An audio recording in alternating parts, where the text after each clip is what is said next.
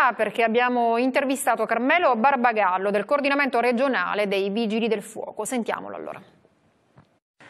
L'ultima spending review che sarebbe il riordino per i Vigili del Fuoco ha di fatto tagliato sulla sicurezza. Le criticità sono tante, la carenza di organico ormai è nota, sono più di 100 unità solo a Catania. I mezzi che abbiamo sono di una vetustà ormai accertata. Ogni intervento che noi facciamo rischiamo di rimanere a piedi e li rattoppiamo con il famoso fil di ferro. Questo veramente è inammissibile nel 2017.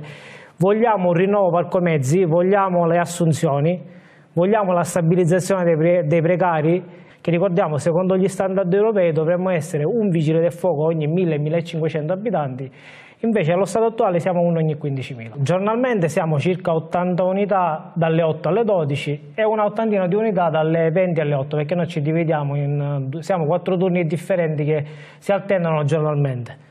80 unità sono poche perché non è che sono solo in centrale a Catania, sono per tutta la provincia. Calcoliamo le ferie, calcoliamo se c'è qualche infortunio, qualche malattia e i numeri sono veramente ridotti. Il nucleo sommozzatore la, la sera è chiuso perché hanno pensato bene con la spending review che le dicevo poc'anzi di tagliare il nucleo sommozzatori nelle ore notturne cioè se dovesse accadere una bomba d'acqua come quella che sta accadendo al nord Italia noi dovremmo aspettare che arrivino i colleghi di Palermo. Voglio menzionare il servizio lavanderia di Catania, ha sei mesi che non abbiamo lavanderia.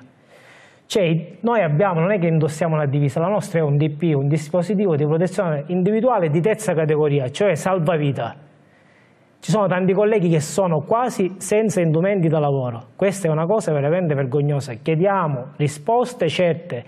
Noi richiediamo il rinnovo del contratto che ha otto anni che è scaduto, ricordiamo, nel 2009.